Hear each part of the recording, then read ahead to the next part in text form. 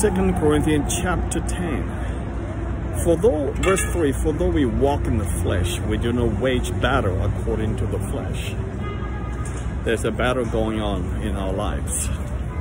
Um, Paul is trying to tell us that there is a battle in our lives. I posted two videos prior to this. That's I call it the battle for our souls. You know, every time the war breaks out, it is a battle between two nations for material possessions and conquering land and uh, taking whatever that is needed.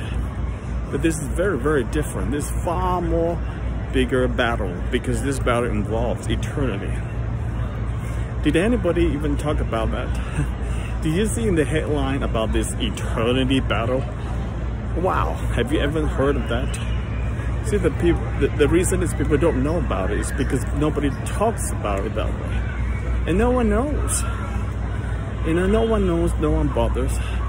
It just stays silent and no one cares.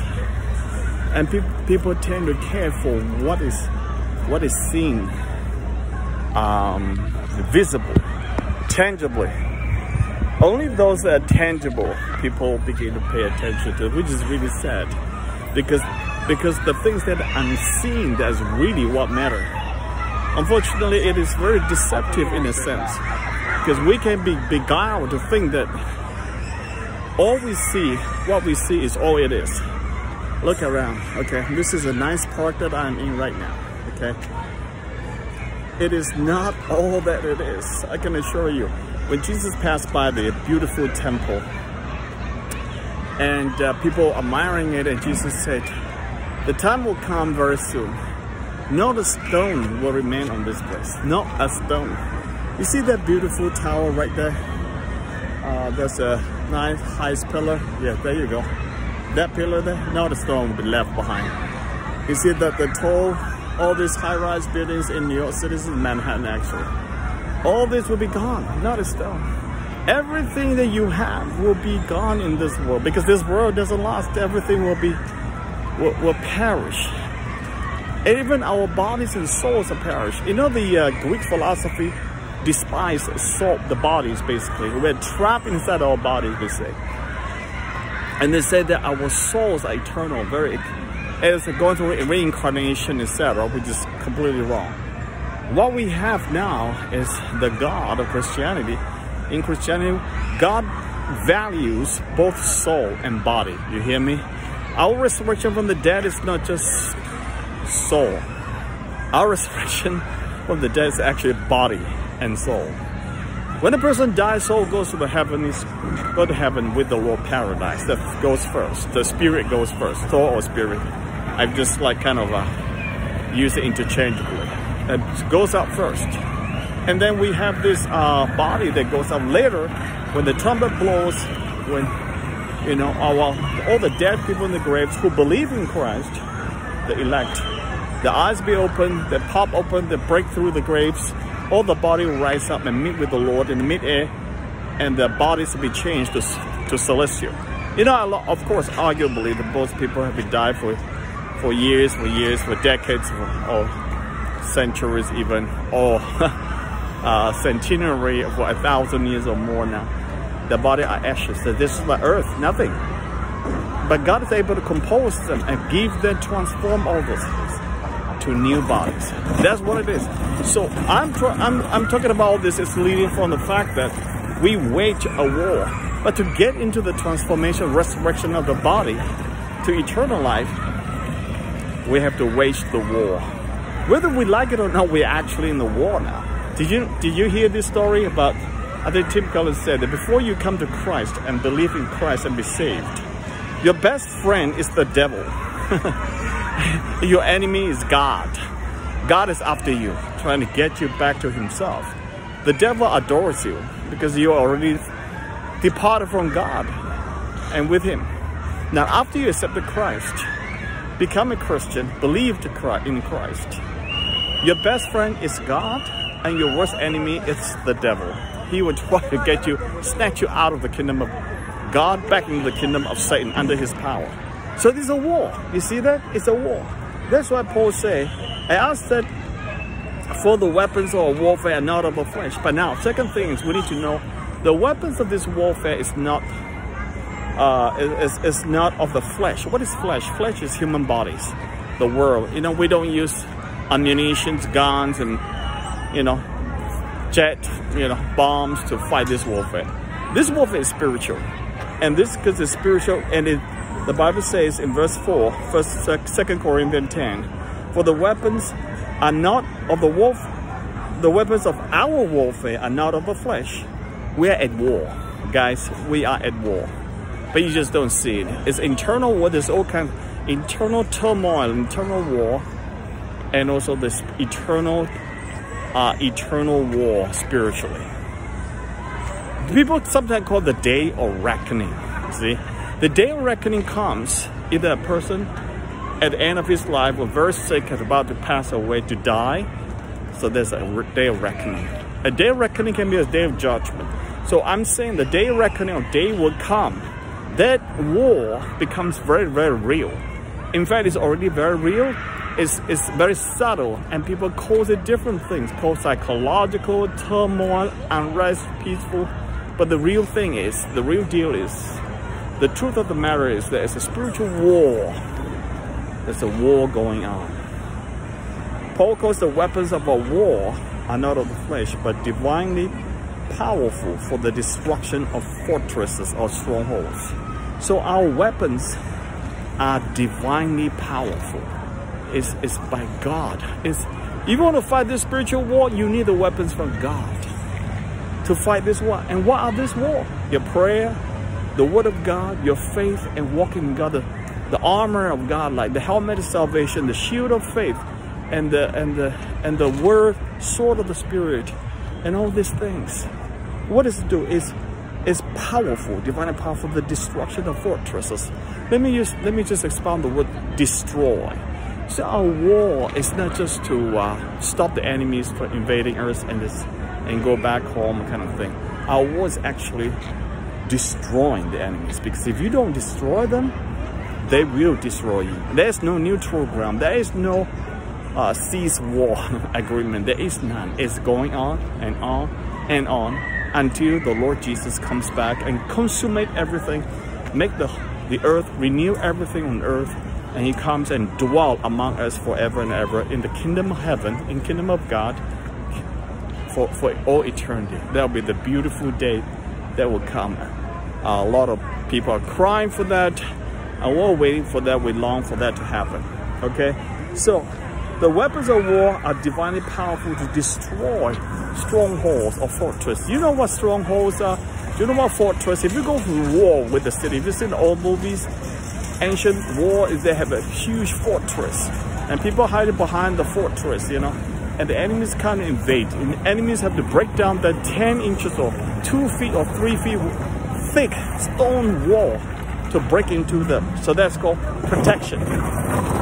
Now, strongholds or fortresses are formed in our minds these days, spiritual, okay, which is a bondage, like uh, the addiction to drugs, addiction to uh, pornography, uh, you know, all this uh, woke teachings and trying to brainwash us to change our sexual uh, uh, gender, sexuality, and all these things. And there's so much warfare going on. All right, so there's also lust no, in the mind. These are strongholds. Strongholds means like fortresses. The enemy has planted a fortress in your mind about pornography, example, or lust, or this this this uh, this this gender, sexuality, all this confusion. You are bound. You are in bondage. Luke Martin Luther wrote a book called Bondage of the Will that we are bound. We're in bondage. We can't save ourselves. Imagine you try to put yourself out, out of sinking quicksand or mud. You're sinking down. Do you think you can pull yourself up? You can't, because you're sinking. There's nothing hard for you to catch hold of. You need something else. Someone has to pull you out, or something solid to push your hands on to hold on so that you don't sink. The more you struggle on your own, the more you sink. That is the warfare we're in now. Without God, we're sinking and fast. That's why Paul said, our warfare is divine, not of the human flesh. We need a hand. The hand is the hand of God. That, that hand came 2,000 years ago in the person, in the man, Jesus Christ. He came and gave us a, gave us a hand. Pulled us up out of the depravity, brokenness, and the quicksand sinking down fast. And God pulled us out to save us so that we don't. And, and to save us, we need to destroy the strongholds. Now this is getting real now. I mean, if you look at the surroundings today, you know the strongholds are grippingly strong. People can't open their eyes. People can't see no matter how much there seems to be a cloud, the darkness, they're blinded. Actually, they say the veil is over their face. The Bible says the veil is over their face, they can't get it. You know, that's why we need a revelation. We need revelation of, of, of, of God, from God, into the minds of people so that the eyes be open to see the gospel, see the truth. Jesus said, if you know the truth, the truth will set you free. You can never be true I cannot be you can never be free without seeing the truth. And but you cannot you can never see the truth without revelation. You can see the truth by studying the books and reading books and even Bible or Quran or whatever book you read, you can't. You know, books are just like words. You need a revelation. You need the Spirit of God with the Holy Spirit to open it up, to come and send it into your mind, your soul, and you get it. And you make a decision to turn, you know. But to, to you see, at the same time, for the Word of God to come into you, the Spirit of God has to break down the strongholds in your minds, in your lives, you know. Those are strongholds uh, uh, as with you as captive. You can't get out. So you need the Spirit of God to break down that the strongholds. That's the weapon, the weapon of God to break it down, to open it up so that you can get right in there. You know, or else we all we all we all sunk. That's why it's so important that we have to destroy uh, the strongholds or the fortresses. The fortress is not to protect us. Fortress is actually um, the, the, the works of the satanic power form a stronghold in our lives. Blind our eyes, we don't see that. I'm not just saying for the non-believers, but even for believers, Christian believers, you have strongholds. I have strongholds. What is stronghold? Stronghold is like idols, idolatry, something that bound you.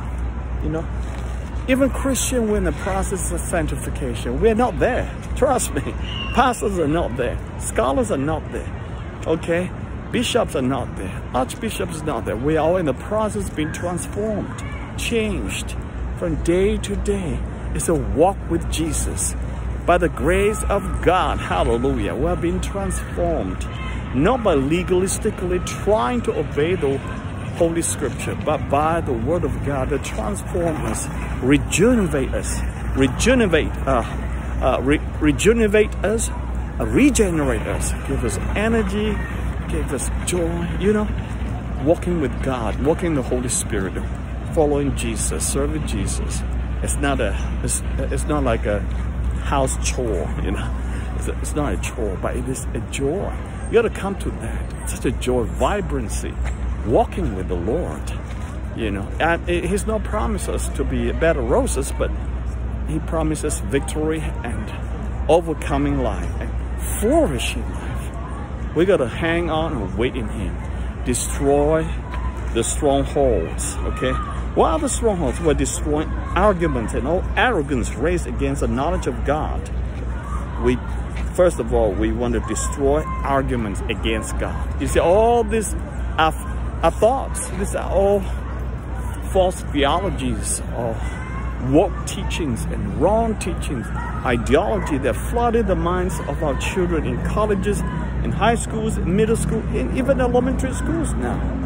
Okay, so they, we want to destroy those arguments. Folks, if Christians are not well trained in theology, well trained in philosophy, pastors are not trained in all this thing, we can't handle those arguments. You don't just rely on prayer, but you need to be intelligent, be informed, you need to be articulate, you need to argue against it. That's why God raised up people like Augustine. That's why Paul is such an eloquent thinker. What do you think the Paul's in the book of Romans are full of arguments to destroy the strongholds from the revelation of God? You know, don't be a simplistic Christian. Be a Christian that knows it so that you can argue. You can destroy those arguments. What else? Destroy the arguments and arrogance raised against the knowledge of God. There's so much arrogance today in this world raised against the knowledge of knowledge of uh, knowledge of God. So much arrogance. I would say contempt. Contempt and arrogance thrown at our God and diminish our God. Replace God with rational reasoning, with what is hip, what is on the right side of the history, etc. Christian backslide, some deconstructed, big names as well. You know, I just heard that the guy Stanley guy, you know, deconstructed himself. You know, capitulated himself in his theology towards LGBTQ in his church. You know, instead of loving them for praying for their conversion, he capitulated in the theology. You know, so these are arguments. These are arguments, arrogance, so much arrogance thrown at the knowledge of our of, of Jesus, of the Lord. They swear with the name, so much arrogance is almost threatening uh, to, to, to become a Christian. Christians today walk in the hostile society that with these cultural values pitted against them, you know, they, they feel threatened just to stand out and speak out as a Christian. So, you know, we are at war, guys. Okay, so we are, so what else? Paul said, we are taking every thought captive to the obedience of Christ. That is an amazing word. Take every thought captive to the obedience of Christ. It's everything. You see that it's a thought. It's not an actual weapon. It's your thinking. You got the mind, you got the person. Okay, guys? That's why we preach expository sermons diligently preach in the power of the Spirit of God. This Sunday, I'll be preaching in Teaneck, New Jersey, uh, Trinity Church, on the calling of Paul, the dramatic conversion, the radical confirmation, uh, conversion and transformation of Paul, and what it means to us today. All right, so we want to take every thought captive. So this is awesome. I think I will need another video on taking every thought captive to the obedience of Christ this is this is so i'm gonna post three videos on this god bless you